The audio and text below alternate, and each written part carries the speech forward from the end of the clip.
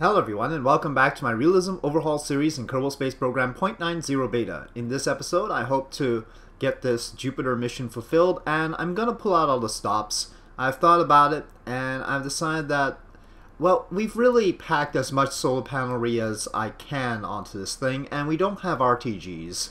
So yeah, I think what I'm gonna do is just lock the batteries to begin with and uh, just save electric charge that way probably we're not going to end up with enough electric charge if we try and run the batteries all the way through the mission. So I don't know if uh, Flight Computer could have uh, turned them off and then brought them back online on its own because normally it can't uh, we can't uh, toggle the fuel tanks so I assume electric charge is the same way uh, so I'm just gonna have to do it manually but instead of doing it just when things go go horribly awry I think I'm just gonna turn them off and uh, turn them back on again as part of the plan.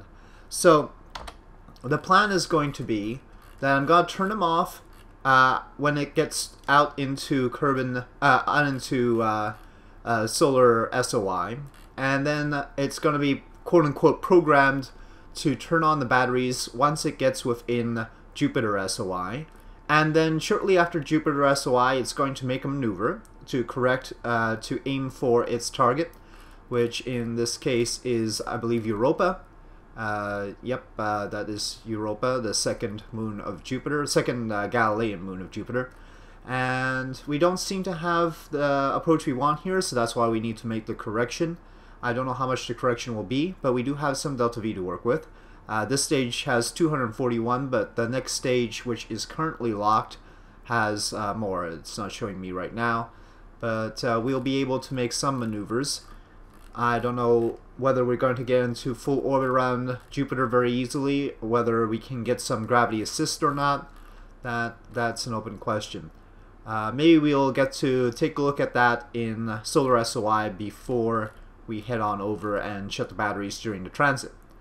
So I'm going to say that that's plan. And then after it makes a maneuver, uh, its initial maneuver on entering Jupiter SOI, it'll turn off the battery again and we'll say it is programmed to keep the battery off until it hits the orbit of uh, I think this is Ganymede, isn't it? Or uh, hold on, let me make sure I get my Jupiter moons correct.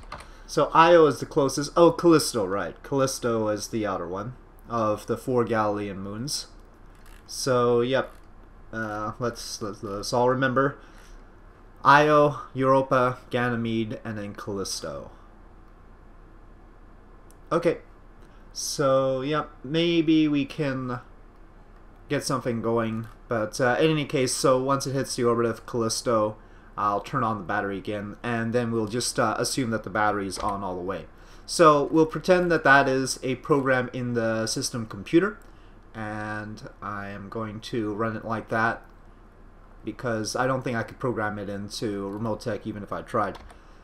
Okay, so here we go. First out into Kerbin SOI. We will do a quick check if we can make some sort of adjustment uh, based on the fact that we'll probably get an extra patch conic level once we get out. And so maybe we'll be able to see where our orbit ends up. I mean, we have six times the battery power we need, but I think um, it's the square of distance, right? So right now we are at 146 kilometers away from the sun. Uh, Jupiter is about 600 kilometers. Oh no, uh, 800 kilo uh, 800 million kilometers away from the sun. So that's uh, five times. So we're talking about 25 times less solar input. I don't think I have that. So yeah, we're, we're gonna have to be shutting off those batteries. And you know, I I built the craft based on the fact that I really can't put too much more solar panelry on this thing. Uh, now, if I, I mean, I guess huge solar panels could be a possibility, but it's really pushing it as it is. And I don't think I could have gotten enough solar panels to make it work. I mean, your Juno spacecraft, is that the one? Yeah, it's got huge solar panels, so it must be the one, yeah. So uh, Juno has huge solar panels in order to get enough solar input at the sun, but it's much much smaller than this it says Juno will receive 4% as much sunlight as it would around Earth. So, yeah, that actually I got exactly right. It's uh, uh, 25, a factor of 25 less. Um, oh, it's actually it's actually heavier than this. Wait a minute. So uh, it's actually heavier than this. I think I've just got very inefficient cores. No, I don't. Wait a minute. Okay, so it's got 400 watts of power. It's 3.6 tons. Hmm. Yeah, I think I've just got some very inefficient cores or very inefficient solar panels. Something like that. It's a bigger probe. Okay, so now we have uh, outgoing trajectory. Let me focus view, not on Ike, but on Jool. Actually, uh, on Eeloo. Now we don't even have a indication of an encounter. I do have a reaction wheel on here, right? Yeah, a little tiny one up there. Let me try and turn to the retrograde marker. And then I'll do some RCS burn. Well, let me try and plot it out. Probably better than uh, than just doing it blind. Smart SS, go ahead and hold retrograde and I'll start plotting. Okay, well, good thing I uh, checked it out because right now nothing I do produces an encounter with anything. There's no sign of any sort of encounter. Not even the slightest hint. Oh, wait. Slightest hint. Uh, that's not much of a hint, though. Uh, okay, well, there's an encounter. I take it back. So, 0.5 meters per second gets us some encounter with it. Okay, let me try and, uh, well, I can't imagine how much more fine-tuned I can get, but maybe on fine controls I can do a very, very careful burn. We'll see.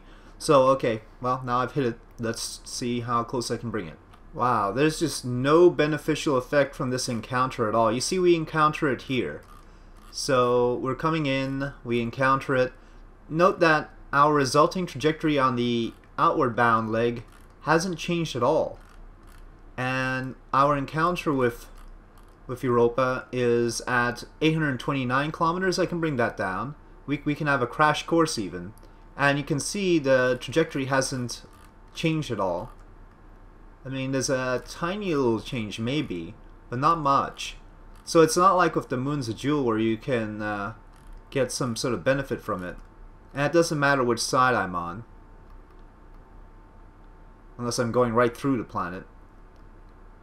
So there's 300 kilometers. It still doesn't do anything. I mean, except for a minor perturbation. How much will it take to get into orbit around... Oh, it's not letting me make a maneuver. Well, I'm guessing it's gonna take quite a lot to try and actually get into orbit around Jupiter, but...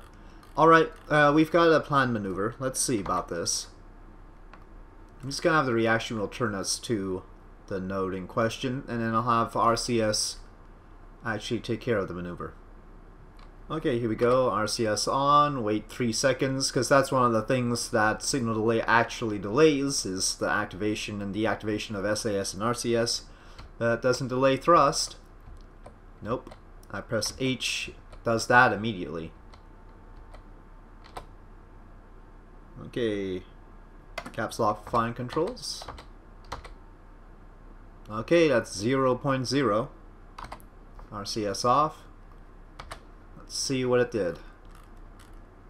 Well, we've got our encounter again. And it's actually a bit too close. uh, hold on. RCS back on.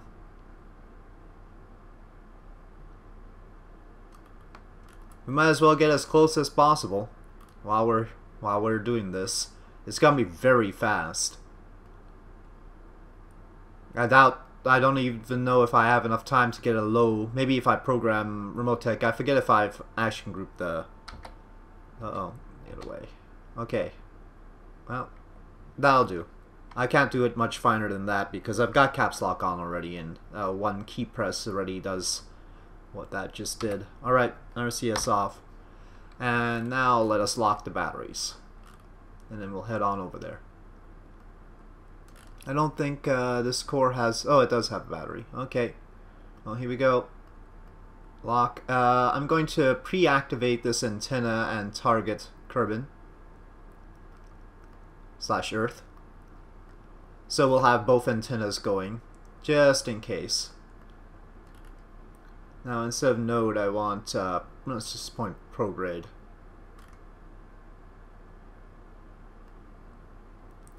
While it's reorienting. think there's no electric charge except in this upper core. Yeah. Now it's using 160 watts. How much did the Ju uh, Juno mission take? Let me see. It said 400 watts, but I don't think it generates that at Ju uh, Jupiter. Oh yeah, no, it actually generates 486 watts at Jupiter, declining to 420 watts as radiation degrades the cells. It actually produces 12 to 14 kilowatts of power. Juno does. Huge solar panels. Hmm. Okay, well, we're pointed in the right direction. Got locked this battery now. And we now have no connection. But I'm hoping that I can unlock when we reach Jupiter SOI. Okay, so that's the plan. Let's go over there. Okay, we are in Jupiter SOI, so let's see if things can come back online. Okay, we have electric charge there. Electric charge here. Still reading no connection. Uh-oh. Caps lock works. Is it range of the antennae? Got two of those suckers. Those are our best antenna, by the way. I couldn't put anything better. We don't have anything better right now. Oh boy. While pretending to have it programmed to do stuff, maybe I should have actually programmed it to do something. Um, we are gonna pass by Europa. Just not gonna have any signal back home. Let me just see if this is, uh, what kind of problem this is. Let me jump out and come back in and see if a connection pops up. You know how that's happened before. Just as a last resort here. Um, now this is strange. Okay, so I click on it, but I can't click on the fly button. Here, fly button is lit. Here, fly button is lit. Here, fly button is not lit. That one fly button is lit. That's the that's the spent portion of it, which I believe does have local control. Uh, but uh, here, wait, it, it actually shows uh, connection back, doesn't it? Hold on, no, that's the that's its orbit. But technically I shouldn't need a connection in order to jump to something. Fly. Fly. Fly gets lit. But here, it doesn't get lit. I should still be able to go to it. I should still be able to, um, you know, destroy it, terminate it. It doesn't light up either of those options. That is very strange. Okay, let me quit the program. I just went back to Space Center. Let me just quit the program and then come back in. See what happens. Okay, I've restarted. Let's take a look on escape trajectory from Jool. Okay, well now I can fly. And but I don't think we still have, I don't think we have connection. Let's see. That was a weird little glitch. That's the first time I've ever seen that glitch where we can't click fly. Hmm. Yep, still no connection taking a look at the situation, I wonder if it would have been better to connect through Mars. No, oh well, no. Mars Mars is just about the same distance right now. It's over the uh no, it's further. Sorry, I was looking. We could this this was a possibility. Maybe just a little bit closer to this alternate uh, target. I don't know if it had communicate. It seems to have a communication relay back to Earth. But yeah, long shot anyway. So maybe I should have put four of these little antennae on. Not too sure that would have been enough either. Let's well, since this is the problem, let's go take a look at the tech tree and see about larger solar panels. Now, I could just tweak scale them up, of course, but that's not the favorite way of doing things. Let's see if we can get better solar panels in general and better antennae. I mean, science-wise, we're not too bad off, 450, but then again, a lot of this stuff costs a lot. Uh, extendable RCS boom, no, and we don't need a claw, and it's non-RP0 anyway. Um, this stuff over here is all engines and fuel stuffs. Problem is, unlike in 1.0, you can't see what's ahead very easily. But presumably, the stuff I'm looking for is going to be down here. This says non-RP0. Uh, I would like photovoltaic panels and such, but it looks like every advanced solar panel is non-RP0. Okay, um, how about uh, antennae? Communication. W where is the communication stuff? At least I can see the location of it and okay well it seems to be in this row. This is our Flectron KR7 so I suppose it'd be around here just logically speaking. But this one doesn't have any new communication arrays. Well uh, let's just unlock this one. Let's see um, there's a dish. That'll definitely cover Jupiter it's not RP0 though. Wait a minute. Well, uh, th this one was RP0. This one says non-RP0. Is there any particular reason why? Uh, let me do some basic analysis. Alright. So, uh, 0.18 charge per second, cone angle 1.4 degrees, uh, 200 uh, million kilometers. Uh, there's a billion kilometers, a little bit more charge, tighter cone angle. I, I don't understand why this shouldn't be just supported by RP0. Is there some difference that max temperature is fine, it's heavier, it's generally in the right spot. I mean, I don't see why it's not RP0 compatible. So, I'm gonna I'm gonna pretend it is. Now let's do some analysis on the solar panel array, which uh, seems to be something we need. Um, this this has the solar panel arrays that we've been using, 11.3 per minute. Let's let me just do a quick calculation on mass to electric charge. Seems like the fair thing to do. So, uh, well, electric charge uh, per minute. Uh, let, let's do per second. So it's 0.188 per second, and I'll divide that by the mass. Okay, 19.2 is the number I get per ton, basically. And here we've got 2.7 per second divided by 0.0884 30 so uh, this one over here was 19 uh, units per ton. This one over here this one gives us 30 units per ton which seems fair since we've improved in technology So if this one is supported by RP0, it's hard to see why this one shouldn't be. When we've already spent more technology to get it. I think this is fair logic. So, uh, I'm going to try and unlock this. Uh, we need 10 science, basically, and then we can unlock this, and that's our priority. Let's see what we can do about that by visiting the science archives.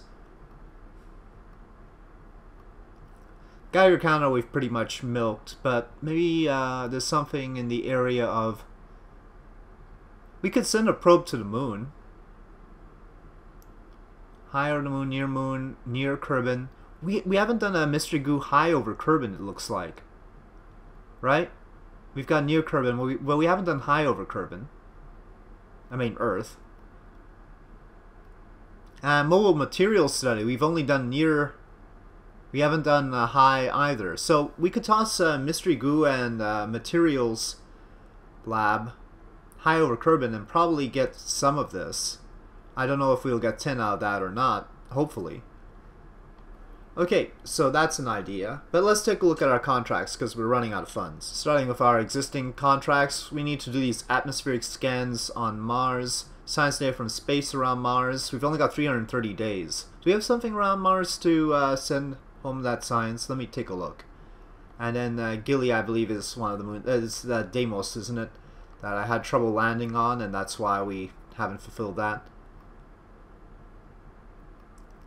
Uh, how much will failure cost us? That'll cost us 60,000, so if we expect that we're gonna lose that, perhaps. Oh, no, uh, it looks like that one doesn't have a deadline, so we won't lose that. What's the point of having a failure thing if we never actually get to the point where we have a failure? I don't know. Um, a surface outpost on the moon is very tempting, actually, but complicated. Satellite in a geosynchronous orbit of Kerbin, Earth. We could do that, and it asks asks for a mystery goo unit. We could toss on a, a science lab in addition and get the science that we want, and it already gives us extra science anyway. Okay, uh, why don't we uh, have this geosynchronous satellite contract? Seems like that's exactly what we want. We'll have to launch from uh, Kourou to get the inclination of 3.9 degrees instead of the 20 odd degrees that we normally get. But okay, so uh, let me build a satellite to launch that geosynchronous satellite, and that will be what we want. Oh, uh, science data from space around Kerbin, we could probably do that as well at the same time. So let's pick that up. Anything else we can bundle into this thing? Doesn't look like it. This other stuff is elsewhere. Okay. But first, actually, let me check out uh, Mars and see if we can get some science from it. Probably the only stuff we have in orbit around Mars is just communication stuff, but we'll see. So here we are with the Angua M around Mars, and if you recall, this one had the the the dish up here, but it actually had a lander stage on top of it. Uh, you can see the weird solar panel configuration I needed to use in order to get enough solar input, and it does have good solar generation, uh, more than it needs. Uh, of course, it was carrying the the lander as well, so I had to supply that core with power just in case. But uh, tucked in here, we do have a mystery goo unit. I, I suppose we've already done mystery goo around here. But let's see. Oh wait, uh, I've clicked it and I have to wait 8 minutes. Hold on. Well, transmitting it isn't gonna tell us anything. Is there any other instrument on here? We've already done that mystery goo. And in this location, this is only going to be able to... I mean, 800 meters per second might boost us high if we want to. Let's check if uh, high over Mars has been done yet with the mystery goo. Nope, uh, high over Mars has not been done with the mystery goo, so let's boost that satellite up and get the high over Mars reading if possible. I don't know if that delta V is enough to get it high, but we'll just as expend it and see what happens. Okay, well, best thing to do will be to burn out a periapsis. Our, ap uh, our apoapsis is already pretty high. Uh, we'll, we'll check briefly whether the existing apoapsis is good enough if we're going around the right way. Otherwise, uh, we can boost out to... It looks like the maximum is about uh, 20,000 kilometers or so. So that's the other option. But are we going... Yeah, we're going around backwards, so uh, we're not heading to Apoapsis. We'll just boost up. It'll provide better communications anyway. Looks like we should start around here. Actually, probably past the point. Okay, well, I'll see you close to Apoapsis, and we'll see whether we get the high reading or not.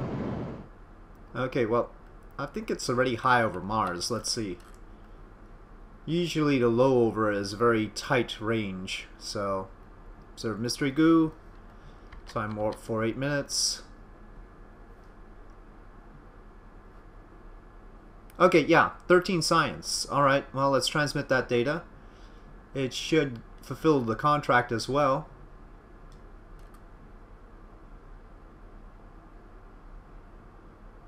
Yep, fulfill that contract.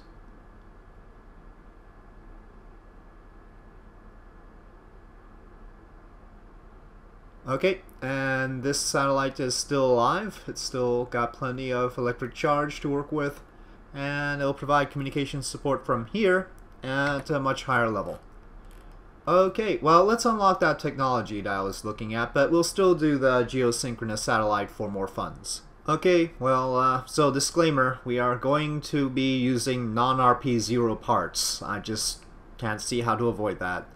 Uh, yep, here we go and that'll be for the revamp of the Jool mission and probably the revamp of some other missions as well as we try and do other things. I'm not even going to make any question of it. I'm going to research this part.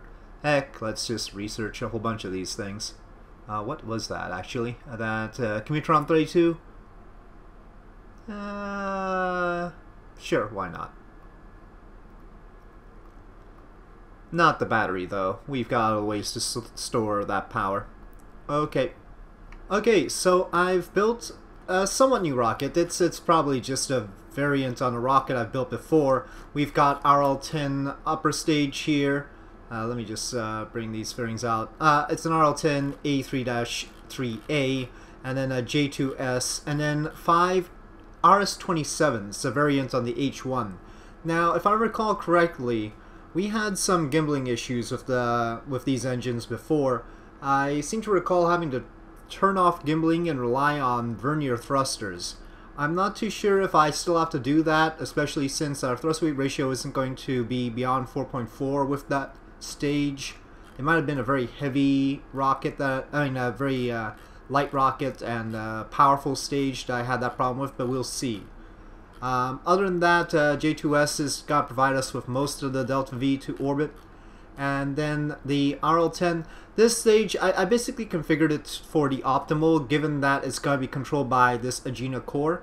And so uh, if you add up the cores of the actual probe, these can carry one ton. That's why the probe is one ton, by the way, because that's the max that these can control. And it's sort of odd that basically all of my design is based completely around these arbitrary numbers that the, these arbitrary numbers that limit our ability to control the vessels. Which, of course, uh, in real life, they don't actually build cores that can only control 300 tons. I mean, that's not that's not how it works, really.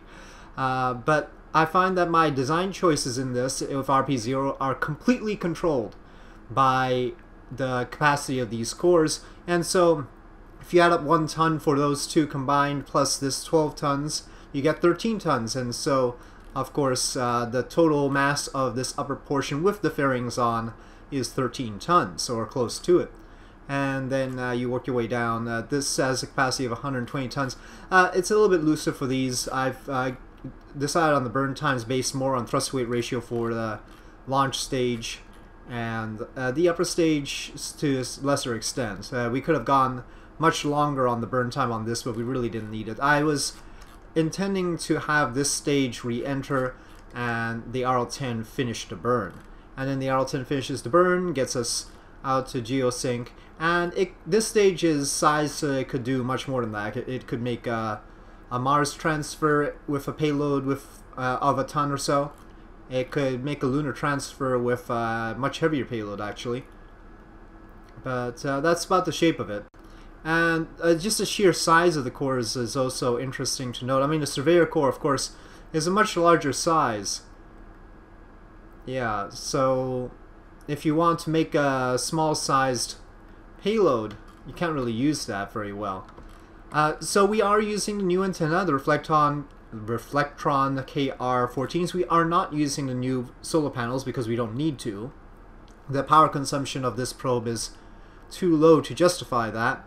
Uh, altogether, um, well, I could size these up a bit.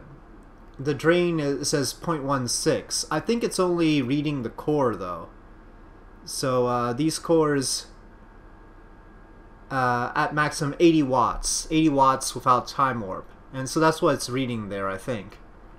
This actually requires a 0.2 charge per second. So if we uh, face our tail to the sun, it should work. And we're not going to be blocked by the Earth much. We're at geosynchronous orbit. Uh, it's high enough that the Earth is not going to come in the way. So it's a close call. Maybe I should resize the panels for a little bit. Um, but then that that gives us insufficient avionics. All right, well we'll keep it to this. Um, while we're, I mean, in theory, the cores should go into low power mode during time warp. We should have enough. Yeah, we should have enough, but I've said that before and I've been wrong. Anyway, that's about the size of it. For some reason, uh, MechJeb is not reading the delta V of the probe. We do have MMHN 204 here uh, in the probes and in this one little tank, but uh, for some reason, even though the 1 kilonewton thruster is configured to that fuel, it's not reading its delta V, which is about 700 meters per second. Not much. It's mainly for uh, for the thrusters. Here we've got MMHN 204 RCS thrusters. Is really what the fuel is for and that's to adjust it, uh, fine-tune it to get to the right orbit. Anyway, that's that's the idea. It's a little bit expensive. I could probably have figured out a cheaper launcher. But on the bright side, we're not using an F1 down here. Uh, the reason for that being the F1 costs uh, 20,000 each, whereas these cost only 1,700, so this stage is 8,500. Much cheaper. So that's the logic. Yep. Okay, anyway, I think all the important parts are spoken for, and it is going to be time to launch. Okay, so here we are on the launch pad. We are at Kourou as planned, so there we are. Goo Sync Sat, I've decided to call it because it's carrying a goo container. Goo Sync Sat ready to launch, and that is our target orbit. I don't know if I can uh, line up with the longitude of ascending node they want right now. We might as well fix that once we're further out anyway. It's probably better. Uh, they want 90.5 degrees. I can't really see where that is. Uh, we also need to reduce our inclination from 5.2 degrees to 3.9 so we'll have to do that out there as well. We definitely have enough delta V as long as nothing else goes wrong so Let's see if anything else goes wrong. Now I have action group 9 and 0 to turn off the gimbling on the outside and inner engines if necessary because I remember that problem. So I'll keep that in mind. But otherwise, let's just uh, see how this rocket works. Okay, already I see a little bit of over gimbling there.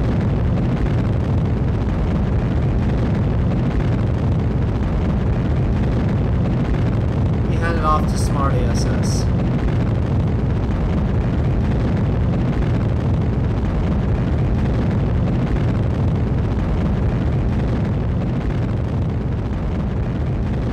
Looks a little bit better right now under Smart ASS's control.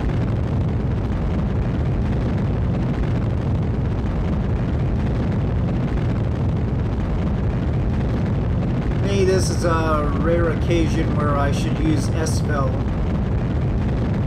sort of see that being a good idea. Hmm. Not really. Don't know where it thinks my pitch is. No, no, no. Uh, no, that's not good at all.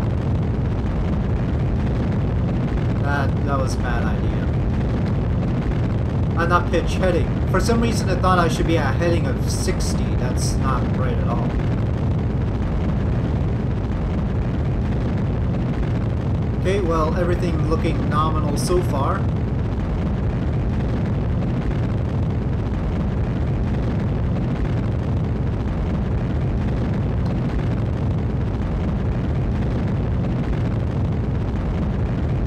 We don't have any decouplers to worry about this time.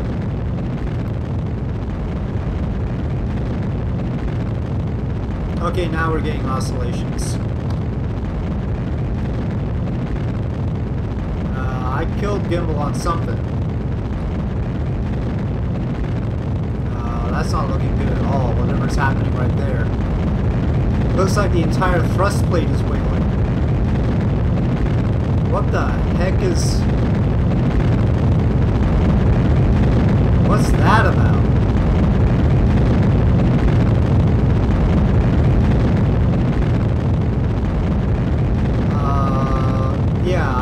idea what's happening there, but we'll let it burn out. That's the best choice at this point.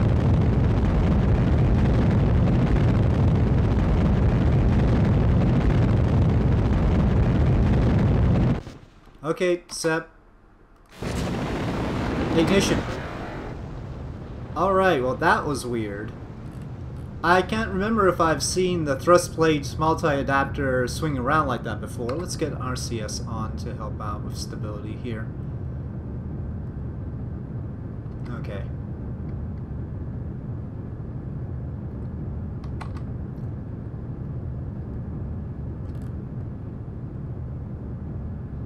Yep, that was a bit dodgy. Could do with a heavier second stage and a lighter first stage then. If the first stage runs out faster, we won't get to that point where we have the wiggles. And then we'd still have a very cheap first stage, compared to an F1 stage, for instance. I think that might be a plan. And certainly we have the TWR on this stage already. We could extend this stage without any problem. Could give it an extra minute or two without uh, going past uh, J2's normal burn time. Uh, it's uh, maximum burn time on the Apollo missions. Uh, the third stage engine burned for 8 minutes and 20 seconds altogether. So it can burn up to that. We've only got for 5 minutes right now.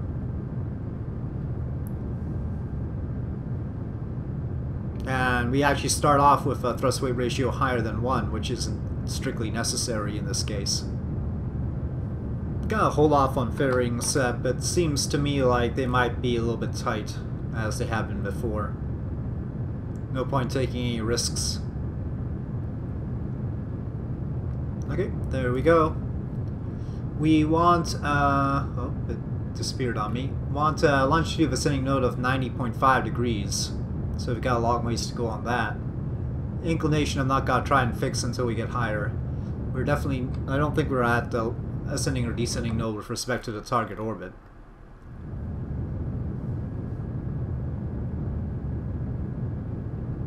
Hmm, inclination is going up. Uh, longitude of ascending node is going down, though.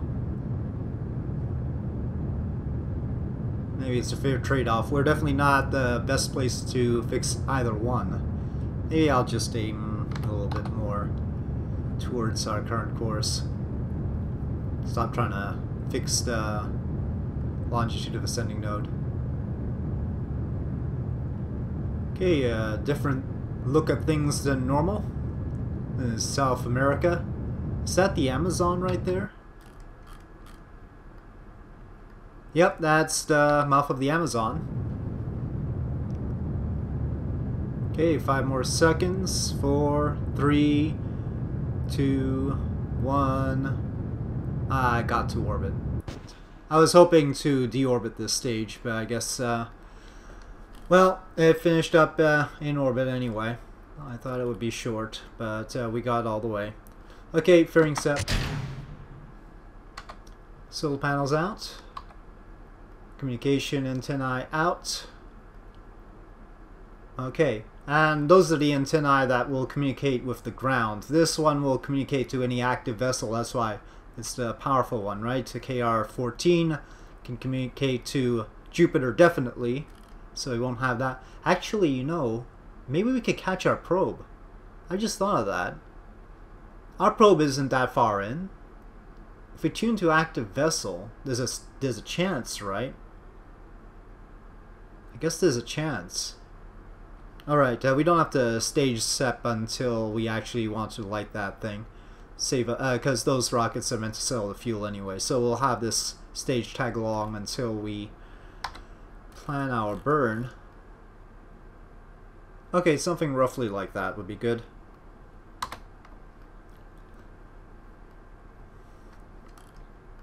Alright, let me lock this RCS tank and the upper tanks. I think two minutes, I think it's, uh, it's an eight minute stage. So this should be about right. Okay, throttle up. Set. And ignition. And I'll unlock this RCS tank. Okay, we're getting close to our target inclination, so I'm gonna actually deviate from the node. I don't think we need to decrease that inclination anymore. Now the RL-10 has 10 possible relights, so I think we can make all the adjustments with it if necessary.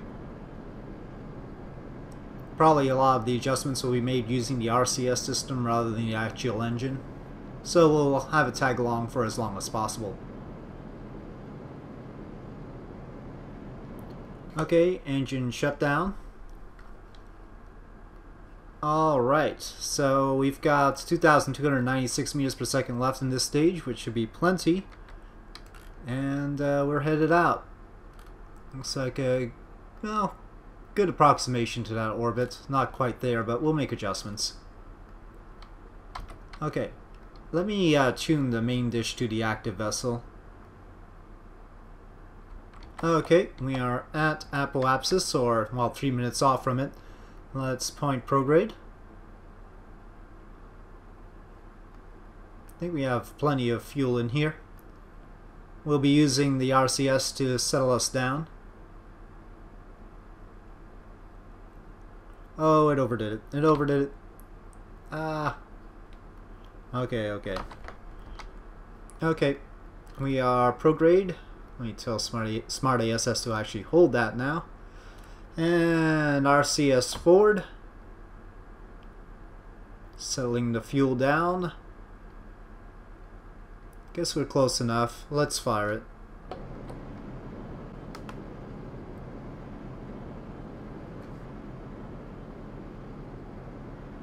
While this is going on, let me just zoom out and see any indication that uh, it's a link to Jool.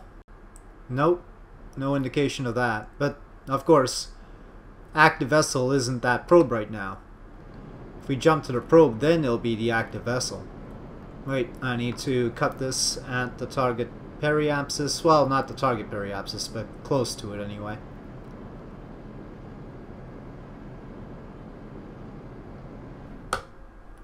Okay, well, we're not quite there yet.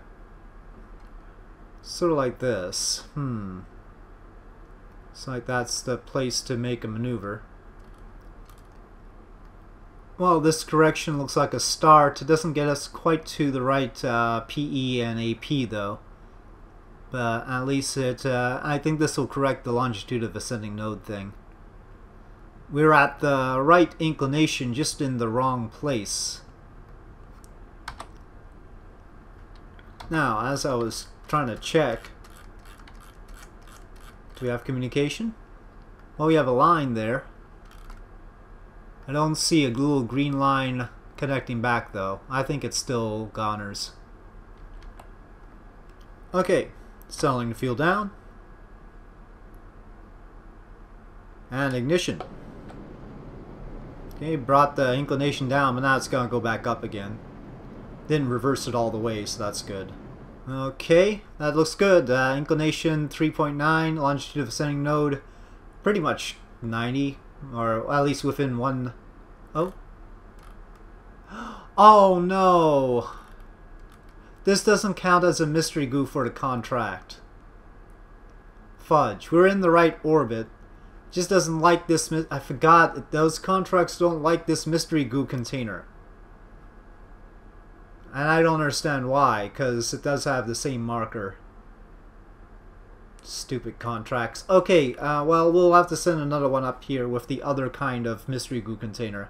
But we can observe mystery goo and transmit that science, which we haven't done before. From high over Kerbin slash Earth. Well, this is right orbit. Uh, let's make put it into full satellite mode instead of having all this stuff with it. And we're wasting a little bit of gas, but um, we're gonna lose electric charge if we don't dump the dump the genocore. So checking that everything is right. Right. Okay. Okay, and ignition, and we have to unlock the these tanks.